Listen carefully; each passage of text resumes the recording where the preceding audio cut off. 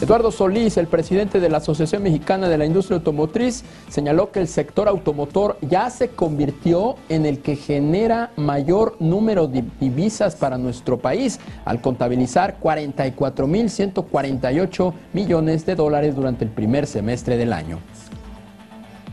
El presidente de la Asociación Mexicana de la Industria Automotriz, Eduardo Solís Sánchez, afirmó que la industria automotriz nacional ya se convirtió en la que genera el mayor número de divisas para el país, pues al cierre del primer semestre contabilizó 44.148 millones de dólares, cifra que supera a la suma de las remesas, turismo y ventas petroleras. Detalló que las divisas que entraron al país por turismo remesas y ventas petroleras sumaron al cierre del primer semestre 34.083 millones de dólares, lo que implica que las de la industria automotriz las rebasaron en 10.065 millones de dólares.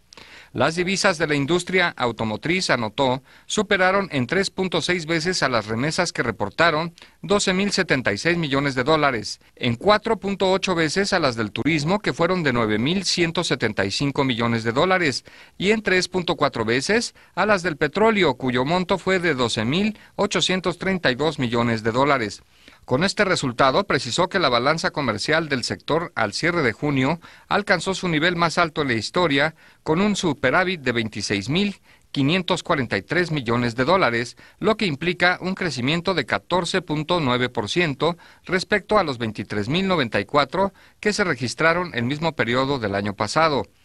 Ante este panorama, adelantó que de manera conservadora calculan que el superávit de la balanza comercial cierre 2015 con un alza de 10% respecto a 2014, con lo que llegará a 55 mil millones de dólares. Con información de Alexandra Villavicencio.